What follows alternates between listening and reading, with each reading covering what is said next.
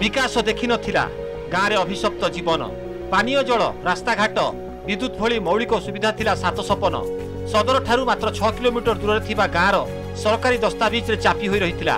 ପ୍ରତିବାଦ କରି ସ୍ୱର ଶାଣିତ କରିବା ଲୋକେ ମଧ୍ୟ ଥରୁଟିଏ ପ୍ରଶାସନ ନିକଟରେ ପହଞ୍ଚି ବାଟ ଫିଟାଇବାକୁ କହିନଥିଲେ। ହେଲେ ଏସବୁ ଉପରେ ପିଇଓଙ୍କୁ ଆଖି ପଡ଼ିଲା। ସରପଞ୍ଚଙ୍କୁ ଧରି ପାଦରେ ଚାଲି ଗାଁରେ ପହଞ୍ଚି ମାସକ ମଧ୍ୟରେ ଗାଁର ନକ୍ସା ବଦଳାଇ ଦେଲେ ମୌଳିକ ସୁବିଧାକୁ ଗୁରୁତ୍ୱ ଦେଇ ସୋଲାର ପ୍ରକଳ୍ପ ମାଧ୍ୟମରେ ଗାଁରେ ପହଞ୍ଚାଇଲେ ବିଦ୍ୟୁତ୍।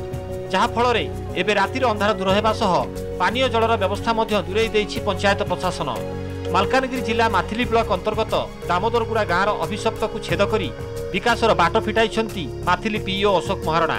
ତେବେ ପିଇଓଙ୍କ ସମସ୍ତ ଯୋଜନାକୁ ସମର୍ଥନ କରି ଗାଁରେ ବିକାଶ ତୋଳିବାକୁ ମାଥିଲି ସରପଞ୍ଚ କାନାମରାଜୁ ନାୟକ ମଧ୍ୟ ସହଯୋଗ କରିଛନ୍ତି।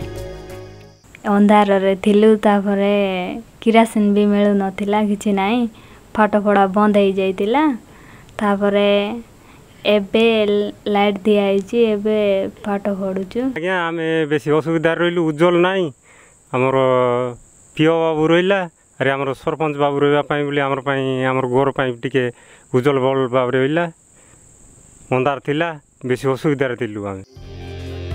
ଏଥିରୁ ସୁବିଧା ପାଇ ଗାଁ ଲୋକେ ଅନ୍ଧାରରୁ ଆଲୋକର ମଜା ନେଇଛନ୍ତି। ସେହିପରି ଏକ ସଲାପ ମଟର ମାଧ୍ୟମରେ ଚୁଆକୁ ବିଶୁଦ୍ଧ କରି ପିଇବା ପାଣିର ବ୍ୟବସ୍ଥା ହୋଇଛି। ଆଗାମୀ ଦିନରେ ଗାଁରେ ବିଭିନ୍ନ ପ୍ରକଳ୍ପ ରଖି ବିକାଶର ମୁଖ୍ୟ ସ୍ରୋତରେ ସାମିଲ କରିବାକୁ ଉଦ୍ୟମ ଜାରି ରଖିଥିବା କହିଛନ୍ତି ମାଥିଲି ପିଇଓ। ସେହିପରି ଲୋକଙ୍କ ସ୍ୱାର୍ଥ ଦୃଷ୍ଟିରୁ ପଞ୍ଚାୟତରେ ବିଭିନ୍ନ ପ୍ରକଳ୍ପ କରାଯାଇ ବିକାଶ ପଥରେ ନିଆଯିବ ବୋଲି କହିଛନ୍ତି ମାଥିଲି ସରପଞ୍ଚ। ହେଲେ ସବୁ ସୁବିଧା ହେଲା। ପାଣି ବି ଗାଁ ଘର ଭିତରେ ସୁବିଧା ହେଲା। ପଚାଶ ଷାଠିଏ ବର୍ଷ ରହିଲା ଆରେ ଆମେ ଏଠି ଘର କରି ରହିକରି ହେଲେ ସେମିତିରେ କେବେ ଉଜ୍ଜଳ ନଥିଲା କି ଅନ୍ଧାର ଥିଲୁ ବାରମ୍ବାର ଆପ- ଅଭିଯୋଗ ଏ ଦାମୋଦରଗୁଡ଼ାର ଲୋକ କଲେ ସେଥିପାଇଁ ପିଓ ସାର୍ ସାଥିରେ ଆମେ କଥାବାର୍ତ୍ତା ହେଇକରି ଇଏ କରେଣ୍ଟ ବ୍ୟବସ୍ଥା କଲୁ ସବୁ ଘରେ ଘରେ ଟିକେ ଲାଇଟ୍ ଲଗାଇଲୁ ଆଉ ପାଣିର ମଧ୍ୟ ଅସୁବିଧା ଆ, ଥିଲା ସେ ପାଣି ମଧ୍ୟ ମଟର ଗୋଟେ ଲଗାଇଲୁ କୂଅରେ କୂଅରେ ଲଗାଇକରି ସମସ୍ତଙ୍କ ସୁବିଧା ହେଲା।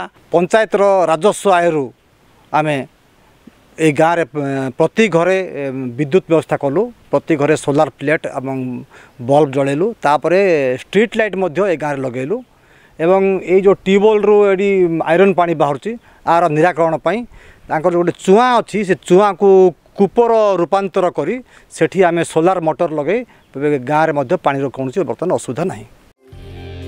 ଦୈନନ୍ଦିନ ଲୋକଙ୍କ ବିକାଶ ପାଇଁ ରୀତିମତ ପ୍ରଚେଷ୍ଟା ଜାରି ରଖିଥାନ୍ତି ପିଇଓ ଅଶୋକ ମହାରଣା।